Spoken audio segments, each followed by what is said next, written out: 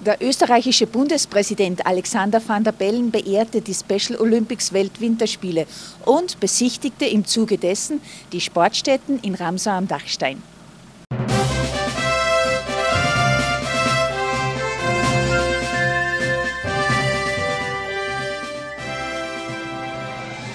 Der österreichische Bundespräsident Alexander van der Bellen besucht die Special Olympics Weltwinterspiele.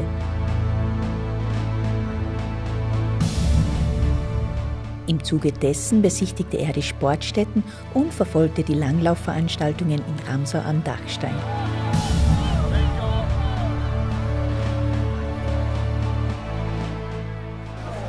Es ist ein Fest der Inklusion. Menschen mit einer gewissen Beeinträchtigung können hier teilhaben an einer Olympiade, was sonst nicht möglich ist. Und das ist für uns alle wichtig, glaube ich.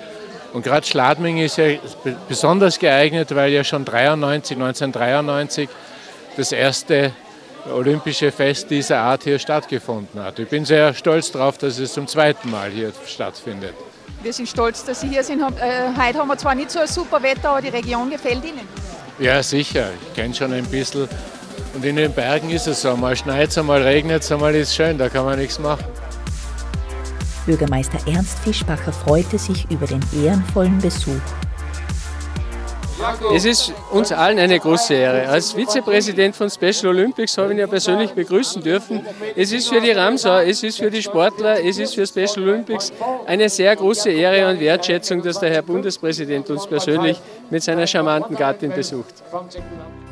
Hochrangige Politiker und Verantwortungsträger besuchen die Special Olympics Weltwinterspiele um dem Gedanken der Inklusion mit ihrer Anwesenheit noch mehr Gewicht zu verleihen.